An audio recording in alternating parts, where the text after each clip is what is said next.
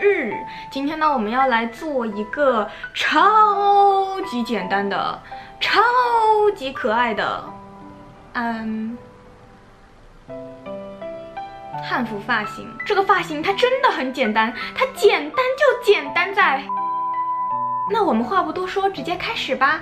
我们先来给头发分区，把头发分好区之后就是这样的。然后我们在两边垫个发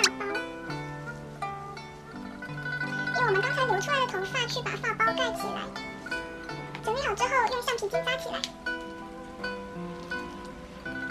然后我们这边就会显得比较的饱满。然后我们来把这两个辫子，把它们两个扎到一起，扎到一起就是这样的。然后我们把这些碎头发都用小夹子固定一下，再把下面的这个头发往上夹起来。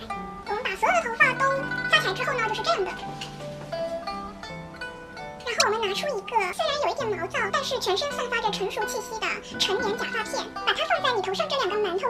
置，然后用一个一字夹把它固定起来。我知道这个时候肯定有小机灵要问：日，你这个视频怎么看起来有点似曾相识？对，以上片段都是我从上一期视频里面截的。然后我们打好底之后呢，取出两个万用花千骨发包，把它放在头顶，一定要记得放在这个缝的右边，就是紧贴着这个缝。就是要让它们非常对称的卡在你的大脑壳上，然后我们要用这个一字夹去固定一下它的，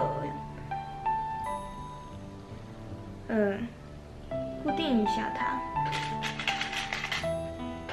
让它下面不要翘起来，让让我们不要变成蝴蝶飞走。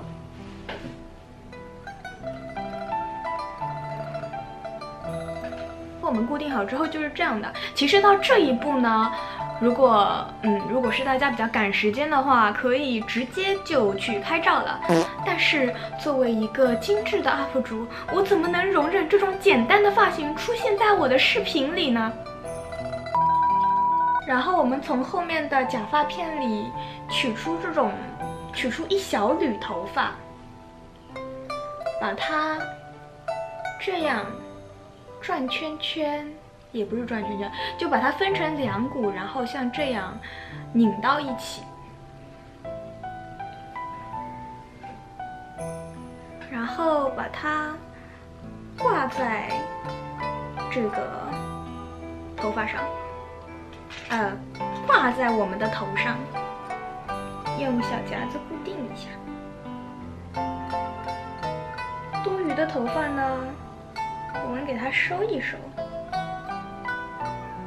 对，把它绕成一个坨坨，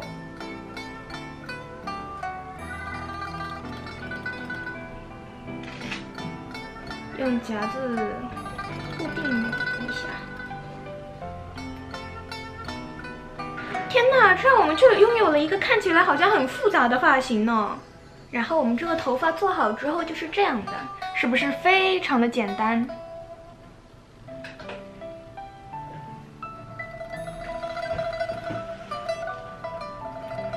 我知道这个时候肯定有人要说了：“天哪，这个 UP 主怎么总是喜欢在脑壳两边垂两缕头发下来？”我就是喜欢，管你披萨。然后我们就可以在脑壳上插上你喜欢的发饰。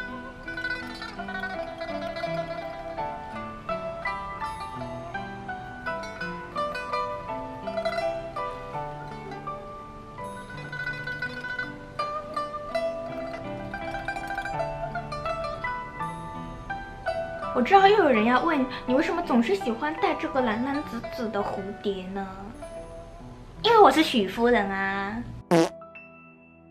感谢各位姐妹们看我的视频，既然你已经看到现在了，那不如再给我一个……那我们下期视频再见吧。拜拜